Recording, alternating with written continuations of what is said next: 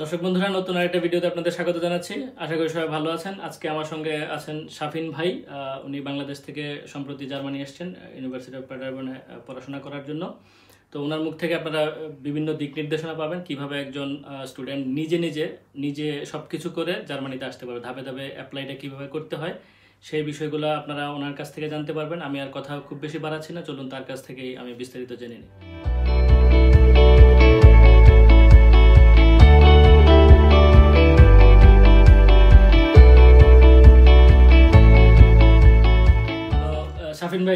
আমি আসলে আপনার কাছ থেকে কিছু বিষয় জানতে চাই।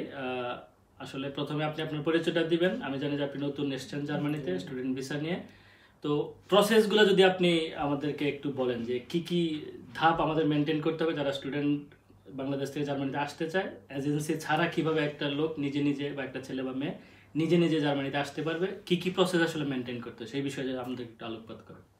আচ্ছা প্রথমে বলি আমি হাসানুল্লাহ ইউনিভার্সিটি থেকে ট্রিপলিতে ব্যাচেলার্স পাস করেছি, সেটা দুই হাজার আঠারোতে। আর এইবার আমি ইউনিভার্সিটি অফ প্যাটাগনে আসলাম অপটো ইলেকট্রনিক্স অ্যান্ড ফোটোনিক্সে মাস্টার্স করার জন্য উইন্টারে দুই হাজার উনিশে। তো আমি ভার্সিটির যখন থার্ড ইয়ারে পড়ি, তখনই মোটামুটি একটা সিদ্ধান্ত নিয়েছিলাম যে মাস্টার্সের জন্য মানে জার্মানি খুব ভালো একটা চয়েস হবে। তো সেই সেই ধারা- মানে ধারাবাহিকতায় আর কি প্ল্যান ছিল যে কীভাবে আগাবো একটা পরিকল্পনা ছিল আগে থেকেই। তো ইউনিভার্সিটি পাস হওয়ার মানে এই এটা ব্যাচেলর শেষ করার পরেই মানে আইএলস এর প্রিপারেশন নিলাম। কারণ মানে আইএলস লাগবেই মোটামুটি। দেখা যায় প্রায় সব ইউনিভার্সিটিতে আইএলসটা জি। তো ওইভাবে আর কি পাস করার পরে আইএলসটা দিলাম। তারপর এখানে গোয়েতে ইনস্টিটিউট থেকে এ ওয়ানটা করলাম। এ ওয়ান পাস করার পর মানে আইএলসে যা দেখা যায় যে আপনার সিক্স পয়েন্ট ফাইভ থাকলে মোটামুটি সব ইউনিভার্সিটিটা অ্যাপ্লাই করার জন্য। ইন্টারাক্ট করি। একটু যদি আপনার প্রোফাইলটা যদি বলেন যে কেমন ছিল আপনার স্কুল কলেজ বিশ্ববিদ্যালয়ের রেজাল্ট এবং আইএলস এর রেজাল্ট স্কুল কলেজে জিপিএ ফাইভই ছিল। আচ্ছা।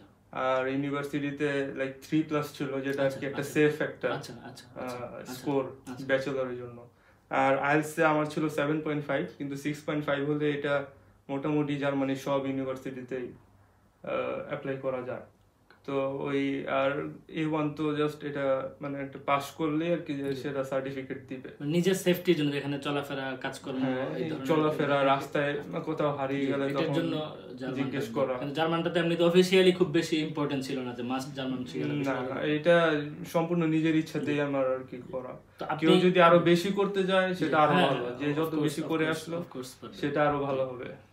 তো এমনিতে আপনার এই তো মনস্থির করলেন জার্মানি। এরপরে প্রথম ধাপটা আসলে কি ছিল? আপনি যদি একটু ধাপে ধাপে বলেন যে প্রথম থেকে শুরু এবং শেষ পর্যন্ত কি হ্যাঁ, যে আমি যেহেতু ট্রিপলি স্টুডেন্ট ছিলাম তো আমার প্ল্যান ছিল আমি মাস্টার্স ট্রিপলিতেই করব। তো অনেকে আবার সেটা চেঞ্জ করে। তো প্রথমে এই স্থির করতে হবে যে আমি কি মানে কোন সাবজেক্টটাতে যাব? সেটা স্থির করার পর দাদের যে ওয়েবসাইটটা আছে সেটাতে সুন্দরভাবে ফিল্টারিং করে যে no tuition fee only English ল্যাঙ্গুয়েজের এই মাস্টার্স কোনগুলো সাবজেক্টগুলো এগুলো জাস্ট সার্চ করতে হবে। সার্চ করে পরে দেখা যায় একটা শর্ট লিস্ট তৈরি করে। মানে সবচেয়ে ভালো হয় যদি মাইক্রোসফটের এক্সেলে সুন্দর একটা ফাইল তৈরি করল যে কোনটায় কত রিকোয়ারমেন্ট তো কোনটায় কত আইএলস লাগবে কিনা এ ওয়ান মাস্ট কিনা কিছু কিছু ইউনিভার্সিটি আবার এ ওয়ান মাস্ট হিসেবে ই করে ওরা রিকমেন্ড করে। তো ওগুলো ওইভাবে করলে পরে আপনার একটা ফাইল তৈরি হলো তারপর আপনি দেখলেন যে আপনার প্রোফাইলের সাথে কোনগুলো মিললো। সেই অনুযায়ী ওগুলো দেখতে হবে যে সেগুলো কি ইউনিয়ন সিস্টেমের মাধ্যমে অ্যাপ্লাই করা যায় বা নাকি সরাসরি তারা আপনার কাছ থেকে ডকুমেন্টসটা চায়। তো যেগুলো মোটামুটি নাইনটি ফাইভ পার্সেন্ট নাইনটি থেকে নাইনটি ফাইভ পার্সেন্ট ওরা ইউনিয়ন সিস্টেমের মাধ্যমে অ্যাপ্লিকেশনগুলো নেয়। আর কিছু কিছু যেগুলো আর কি আছে ওগুলো আর কি নিজের ডকুমেন্টস পাঠাতে হয় ডিএচএল বা কুরিয়ারের মাধ্যমে। তো সেটা প্রথমে শর্ট লিস্ট করার পর তো ইউনিভার্সিটিতে অ্যাকাউন্ট খুললাম ইউনিভার্সিটি অ্যাকাউন্ট খুলে তো অ্যাপ্লাইগুলো করলাম সবগুলো অ্যাপ্লাই করার পর তো মোটামুটি তখন থেকেই আর একটা আর কি অপেক্ষার প্রহরটা শুরু যে ইউনিভার্সিটিগুলোতে অ্যাপ্লাই করা শুরু হয়ে গেল তো এখন ওরা অবশ্যই রিপ্লাই দিবে কিছু না পজিটিভ বা নেগেটিভ কিন্তু এটা খুব অনেক সময় আর কি দেখা যায় তিন মাস বা সাড়ে তিন মাস এরকমও টাইম লাগে। শুধু মানে সবচেয়ে ভালো ব্যাপারটা হচ্ছে যে আপনাকে যদি আপনি প্রথমে একদম যখন ডেডলাইন ডেডলাইনের অনেক আগে থেকেই আর কি যখন শুরু হয় অ্যাপ্লিকেশন পিরিয়ডটা তখনই যদি অ্যাপ্লাই করা যায় তো সেটা সবচেয়ে বেস্ট আর দেরি করলে আর কি সেটা নানা রকম তখন অনিশ্চয়তা এসে- পড়ে আর কি। মানে যতটা তাড়াতাড়ি সম্ভব অ্যাপ্লাই করে ফেললেই ভালো। হ্যাঁ। এর পরবর্তী ধাপ হচ্ছে আপনি অপেক্ষা করবেন অফার লেটারের জন্য। অফার লেটার যাওয়ার পরে অফার লেটার আসলেই তখন প্রথম কাজ একদম প্রথম কাজ হচ্ছে আপনার এই এমবাসিতে একটা অ্যাপয়েন্টমেন্ট নিয়ে ফেলা। অনেকে আর কি অফার লেটার পাওয়ার আগে অ্যাপয়েন্টমেন্ট নেয় সেটা আসলে কাজটা করা উচিত না। কারণ এবার দেখা গিয়েছে যে অনেকে অফার লেটার পাওয়ার পরও অ্যাপয়েন্টমেন্টের জন্য অ্যাপয়েন্টমেন্ট পায়নি সেজন্য সে ওনার জার্মানিতে হয়নি আসাই হয়নি। এটা খুবই দুঃখজনক ব্যাপার। তো সবাইকে অনুরোধ করব যে যাতে অফার লেটারটা পাওয়ার পরে যাতে ইউনিভার্সিটি এমবাসিতে অ্যাপয়েন্টমেন্টটা নেয়। তো অ্যাপয়েন্ট অফার লেটার পাওয়ার পর অ্যাপয়েন্টমেন্ট নিল এরপরে আসা হচ্ছে ব্লক অ্যাকাউন্টের। ফর্মালিটিসগুলো। তখন ওই ব্লক অ্যাকাউন্ট ফিনতিবা বা কোরাকল এক্সপেক্ট্রিও এগুলোর মাধ্যমে তখন ওই ব্লক অ্যাকাউন্টের কাজটা শুরু করতে হবে। আর আমি দেশে যেটা আমি করেছিলাম সোনালী ব্যাংকের মাধ্যমে তো সেটাও খুব ভালো ওদের সার্ভিসটা খুবই সন্তোষজনক। আর এমনিতে অন্যান্য ব্যাংকও করে তো ওগুলোতেও অনেকে করেছে। তো তবে সোনালী ব্যাংকটা আমার খুব ভালো। ব্লক অ্যাকাউন্ট হয়ে গেল। আপনি প্রথমে ডাডের মাধ্যমে কোর্স খুঁজলেন তারপরে আপনি University ইউনিভার্সিটির মাধ্যমে অ্যাপ্লাই করলেন। ইউনিভার্সিটি আপনাকে যে কোনো একটা বা একাধিক ইউনিভার্সিটির অফার লেটার পেলেন। পাওয়ার পরে আপনি ব্লক অ্যাকাউন্ট খুললেন। খোলার পর জাস্ট আপনার ওই ইসের জন্য জার্মান এমবাসির জন্য আর কি এমবাসি ফেস করার জন্য ডকুমেন্টসগুলো রেডি করতে হবে। যেমন ব্লক অ্যাকাউন্টের কাগজ। তারপর আপনার অফার লেটারের কাগজ। এগুলো সব রেডি করে আপনার মানে তারপর আপনার ওই ইন্টারভিউতে ফেস করতে হবে। ওকে। তো ইন্টারভিউর জন্য মোটামুটি কয় ধরনের কাগজ লাগে? একটা হচ্ছে যে ট্রাভেল হেলথ ইন্স্যুরেন্সের ব্যাপার ট্রাভেল হেলথ অনেকে আমাকে প্রশ্ন করে থাকে যে আমার কি ব্যাংক স্টেটমেন্ট আবার লাগবে কিনা? মানে না না না ব্যাংক স্টেটমেন্ট না সেটা হচ্ছে আপনার ব্লক অ্যাকাউন্টের কনফার্মেশনটা হ্যাঁ, সবই তো আপনি এত টাকা আপনি ব্যাংকে আপনার জন্য ফিক্সড হয়ে গেল ব্লকড হয়ে গেল এই কাগজটা ওরা দেখবে। যে আপনার অফার লেটার তারপর হচ্ছে আপনার travel health insurance travel health insurance block অ্যামাউন্টের যে কাগজপত্রটা আছে সেটা হ্যাঁ। আর কি কি লাগে সাথে? ছবি লাগে? ছবি লাগবে পাসপোর্ট তো অবশ্যই পাসপোর্টের অবশ্যই যেন ছয় মাসের বেশি মেয়াদ থাকে। ছয় মাসের মানে আপনি কি মোটামুটি একটা মেয়াদ যাতে কমপক্ষে দুই তিন বছর এগুলো থাকলে আর কি ভালো। পরে মানে অন্যান্য ঝামেলাটা হয় না। আসার পর। তাহলে আপনি যদি একটু সাম আপ করেন আবার প্রথম থেকে মানে পাঁচটা ধাপ বা ছয়টা ধাপ এরকম। হ্যাঁ প্রথম ধাপ হচ্ছে যে আপনার আপনি দাদে আপনার ইটা বুঝতে হবে আপনি কোন কোর্সে করতে চান। সাবজেক্ট আপনি তো সেগুলা শর্টলিস্ট করার পর আপনি তারপর অ্যাপ্লাই করা শুরু করলেন ইউনিভার্সিটির মাধ্যমে বা সরাসরি ডকুমেন্ট সেন্ড করে। তো সে তারপর অফার লেটারের জন্য অপেক্ষা। অফার লেটারটা এসে বললেই আপনার এমবাসির জন্য অ্যাপয়েন্টমেন্ট নিয়ে ফেলতে হবে। তারপর আপনার ব্লক অ্যাকাউন্টের কাজটা শুরু করে দিতে হবে। ওইটাতে হয়তো এক সপ্তাহের মতো সময় লাগতে পারে। তো এই সময় ব্লক অ্যাকাউন্ট রেডি হয়ে গেলে আপনি জাস্ট ইন্টারভিউটা ফেস করবেন। ওকে তো ইন্টারভিউ ফেস করা দেখা যায় ছাব্বিশ সাতাইশ এরকম দিনের মধ্যে। হয়ে কিছু কিছু স্টেটে আবার খুব তাড়াতাড়ি হয়। এমন মানে এবার একজনের দেখলাম চার দিনের মধ্যে আবার কেমনিসে আমি একজনের ঘটনা জানি যার মোটামুটি পাঁচ সপ্তাহ হয়ে গেছে হয় না এখন? হ্যাঁ হ্যাঁ। এরকম আছে। এরকম অনেক আছে। অনেকের প্রায় এমনিতে কি মানে এই যে প্রসেসটার কথা আপনি বলেন এটা কি একটু কঠিন একজন মানে বাংলাদেশ থেকে গ্রাজুয়েট একটা লোকের জন্য কি কঠিন আপনি বলবেন? না এটা মোটেও কঠিন না বরং না, এটা আমাদেরকে যাওয়া উচিত এজেন্সির কাছে আমরা যাব আসলে। না না না এজেন্সির কাছে যাওয়াটা খুবই বোকামি হবে কারণ নিজের উপর যদি বিশ্বাসটা থাকে যে না স্টেপ বাই স্টেপ কাজগুলো জাস্ট ধৈর্য নিয়ে করতে হবে। কারণ প্রত্যেকটা কাজে দেখা যায় অনেক টাইম লাগে। এটা আইএলটিএস পরীক্ষার জন্য প্রিপারেশন নেওয়া আচ্ছা আরেকটা পয়েন্ট এই যে সেটা হচ্ছে যে আইএলস অনেকে দ্বিধাদ্বন্দ্বে থাকে যে কখন আমি আইএলসটা করব সেটা কি কোর্স খুঁজে পাওয়ার আগে না পরে? না না অবশ্যই মনস্থির করার পরেই আইএলসটা দিয়ে দেওয়া উচিত কারণ আইএলসটা লাগবেই। জি।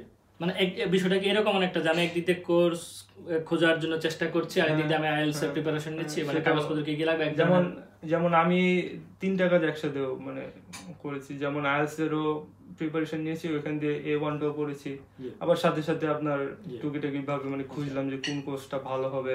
আলাপ করা আমাদের সিনিয়রদের সাথে প্রফেসরদের সাথে আলাপ করা যে এই সাবজেক্টটা কি রকম তো এইসব আর কি মোটামুটি তাহলে বিষয়টা হচ্ছে এরকম যে যে কেউ যদি মাস্টার্স এর জন্য আসতে চায় আমি ব্যাচেলরকে খুব বেশি এনকারেজ করি না।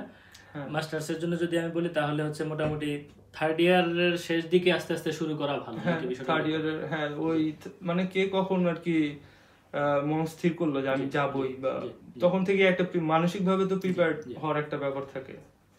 তারপর আসে হলো আপনার এই আয়াস করা কিন্তু ইংলিশটার প্রিপারেশন তো একটু আগে থেকে নিয়ে রাখলে ভালো। হ্যাঁ। তারপরে কিন্তু খুব বড় প্রস্তুতি আর লাগে না ঠিক না? মানে যখন ইংলিশটা ক্লিয়ার হয়ে গেল এরপরে তো আর প্রিপারেশন নেওয়ার খুব বেশি তো বিষয় যখন প্রথমে আইএলস বা এ ওয়ান করার পর দেখবেন ভালো একটা স্কোর বা তখন একটা কনফিডেন্স একটা আসবে অন্যরকম যে না আরও ভালোভাবে কাজটা আমি লেগে থাকি একটা না একটা কিছু হবে ওরকম একটা কনফিডেন্স পাওয়া যায়।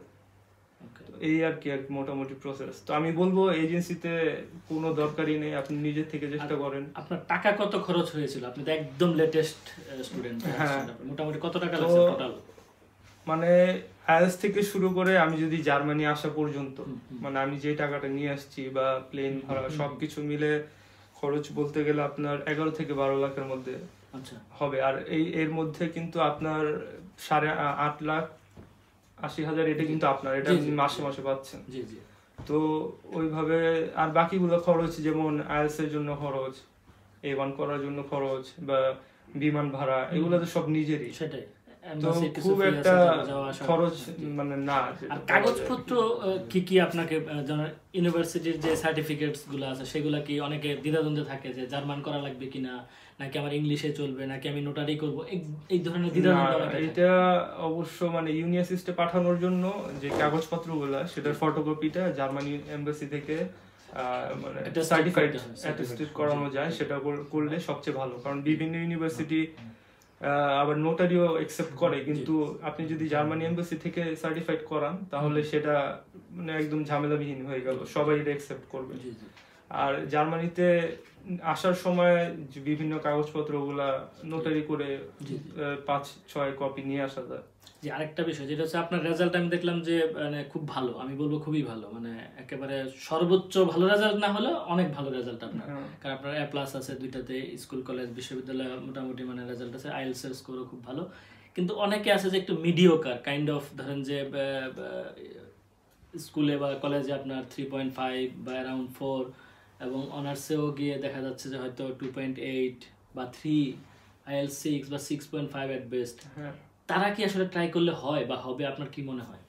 হবে আমি তো মানে টু পয়েন্ট নাইন মানে ব্যাচেলরে। Out of four.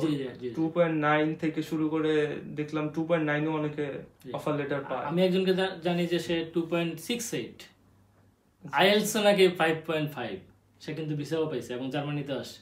মানে অনেক সময় আর কি আপনার কোর্সের কি রিকোয়ারমেন্ট সেটা হলো সবচেয়ে বড় এবং মোটিভেশনের জায়গাটা হ্যাঁ মোটিভেশন লেটারের ব্যাপারগুলো আপনি কিন্তু ওইটা ওইটা ভুলে গেছেন। মোটিভেশনাল লেটারটাও কিন্তু হ্যাঁ, খুবই। আপনার ভর্তি পরীক্ষার ব্যাপার নাই আপনাকে সে চিনে না হ্যাঁ। জানে না। কীভাবে আপনি আপনি আপনি কেমন? আপনার মানে আপনার আর কি অর্জন আছে বা আপনার। রেজাল্টে আপনার পরীক্ষার এইগুলা বা আপনি যে সাবজেক্ট অ্যাপ্লাই করছেন ওগুলা ব্যাচেলরে যে মানে যেগুলোর সাথে আপনার মিল আছে ওগুলাতে আপনার রেজাল্টগুলা কেমন? এইগুলা মোটিভেশন উল্লেখ করতে হয়। কারণ ওরা আপনাকে পুরোপুরি জাজ করবে সেই আপনার মোটিভেশন লেটার অনুযায়ী। এবং কেন আপনি জার্মানিতে আসলে পড়তে চান? হ্যাঁ, কারণ এই কোর্স তো অন্য দেশেও আছে কথার কথা বা হয়তো অন্য কোনো কোর্স আপনি পড়তে পারতেন অন্য কোথাও। কেন জার্মানি হোয়াই হ্যাঁ, জার্মানি এই প্রশ্নটা তো থাকেই না। এগুলা সেটা মোটিভেশন লেটারে তো অবশ্যই আর আরেকটা ব্যাপার হচ্ছে মোটিভেশন লেটারে মানে সবাই চায় না সব ভার্সিটি চায় আচ্ছা আচ্ছা। কিছু কিছু ভার্সিটি স্পেশাল রিকোয়ারমেন্ট থাকে যে মোটিভেশন লেটার তারপর রিকমেন্ডেশন কিন্তু লেটার ম্যাক্সিমামই তো চাই মনে হয় না। হ্যাঁ maximum at least- at least আপনার 50 থেকে 60% আচ্ছা। ওরা চায়। আচ্ছা আচ্ছা। আর আরেকটা জিনিস চাই সেটা যেটা ভুলে গেছি আগে বলতে সেটা হচ্ছে রিকমেন্ডেশন লেটার সেটা।